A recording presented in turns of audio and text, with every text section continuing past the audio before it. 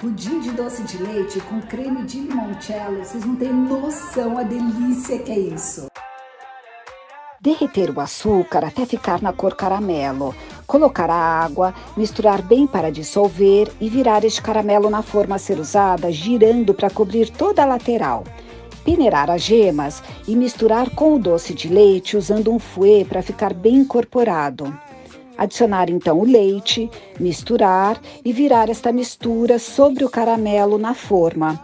Cobrir a forma com papel alumínio e levar para assar a 150 graus em banho-maria por uma hora e meia.